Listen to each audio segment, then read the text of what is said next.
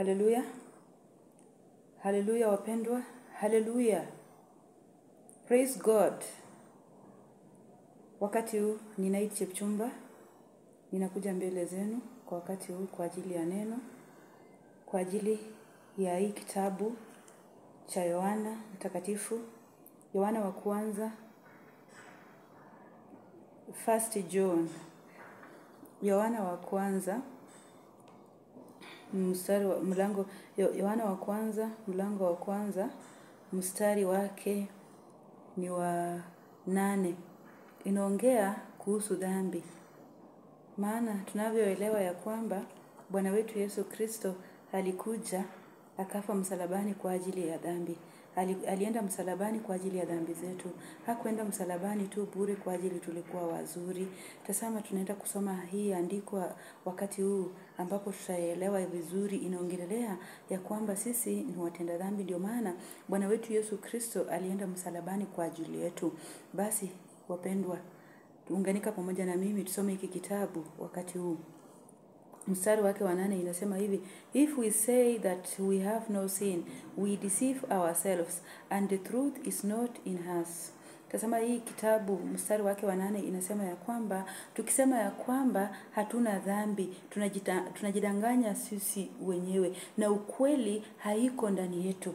Vile tunaelewa ya kwamba sisi wote tumetenda dhambi. Hata bwana wetu yesu kristo alichungulia toka juu mbinguni na akaangalia chini hapa. Hakupata hata mmoja aliona wote wametenda dhambi na wote wameosa. Kwa hivyo ndugu yangu dada yangu wapenzi wapendwa wasikilizaji wangu wote na watazamaji wangu ya kwamba asubuhi ya leo tunafaa kufahamu ya kwamba sisi ni watenda dhambi. Na tukisema ya kwamba hatujatenda dhambi tunajidanganya wenyewe na ukweli haiko ndani mwetu. Hebu tuendelee.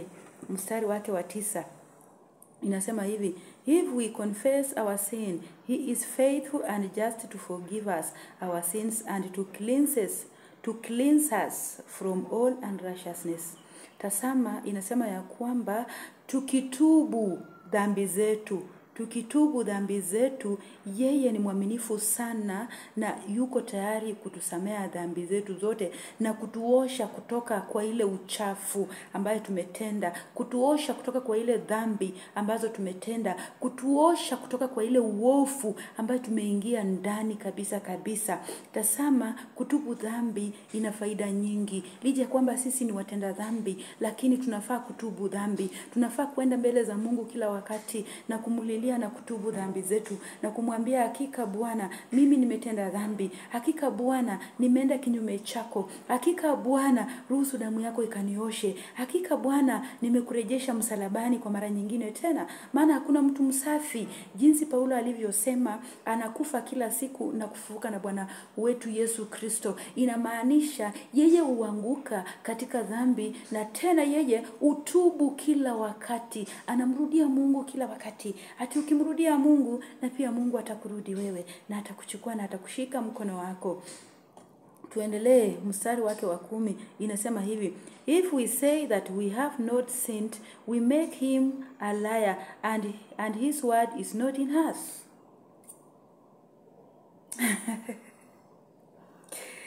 Wapendwa wasikilizaji mstari wa kumi pia iko na challenge yake.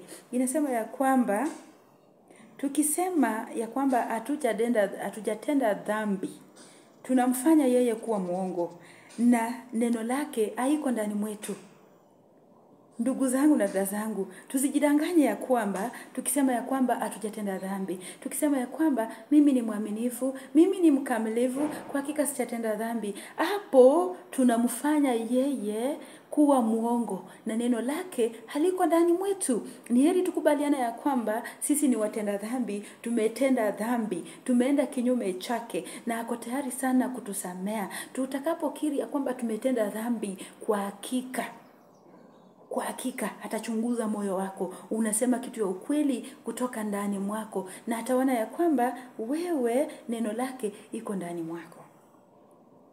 Wapendwa wasikilizaji na watazamaji asubuhi ya leo ili andiko inatufunza ya kwamba tujue ya kwamba sisi ni watenda dhambi.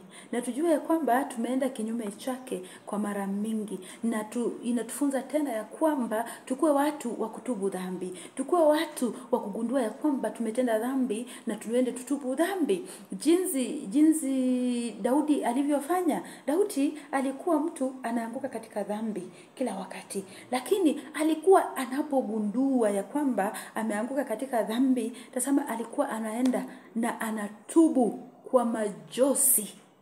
Anararua moyo wake mbele za mungu. Anatubu kwa machozi mingi. Analia hadi mungu anamsamea tasama hiyo ndio moyo ambaye mungu anatafuta tuwe nayo. Tuwe na moyo kama ya daudi. Moyo wa kunyenyekea mbele za mungu. Moyo ya kulia mbele za mungu. Moyo ya kutambua ya kwamba tumetenda dhambi. Tusikue watu wa shingo ngumu ya kusema ya kwamba ah, dhambi gani nimetenda? Mi sijatenda dhambi mi si mtenda dhambi mbona unajidanganya mwenyewe? Mbona unamfanya bwana wetu yesu kristo kuwa mwongo? Na ni, na, na, ni, na, na ni wasi inaonekana ya kwamba kama tungekuwa watenda dhambi bwana wetu yesu kristo angetoka juu mbinguni akaacha enzi akakuja hapa kwa mfano wa mwanadamu akajinyenyekesa na akawa mtii hadi mauti akasulubishwa akakufa kifo cha aibu kwa ajili yetu alikufa kwa ajili ya dhambi zetu tusiseme ya kwamba sisi ni wazuri.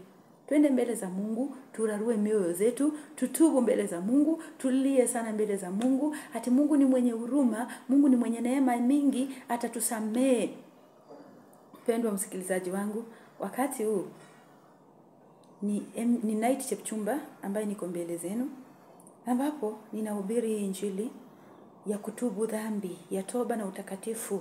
Maana bila toba na utakatifu hakuna mtu hata mmoja atakayeona ufalme wa mbinguni. Bila toba na utakatifu hautaona uso wa mungu. Bila kumtafuta bwana kwa haki hautaona uso wa mungu. Bila kurarua moyo wako mbele za mungu hautaona uso wa mungu. Bila kuondoa kiburi bila kuondoa kujiinua hautamuona hautaona uso wa mungu. Maana mungu anatafuta yule aliyenyenyekea ati ukijinyenyekeza na yeye atakuinua. Lakini utakapojiinua na wewe utarudi chini. Sasa ni afadhali tuchague kunyenyekea mbele za mungu. Tuchague kuwe wapole mbele za mungu ili mungu atuinue na sisi. Lija ya kwamba utakapookoka na kuonekana ya kwamba uko mpole kuna vitu mingi au ufanyi au gombani na watu umenyenyekea mbele za mungu. Lija ya kwamba watakuona mjinga. Lakini machoni pa bwana atakuona wewe ni mwerefu sana. Ije kwamba watakuona mbumbafu lakini mbele za mungu atakuona wewe ni mwenye busara sana asante sana mtazamaji wangu na msikilizaji wangu. Tazama, nimefika mwisho wa ili andiko siku ya leo. Nimefika mwisho ya mafundisho ya siku ya leo. Na mungu akubariki na ukumbuke sana kutubu kuwa na moyo wa kutubu ili umwone mungu na um- umtafute mungu kwa bidii. Amen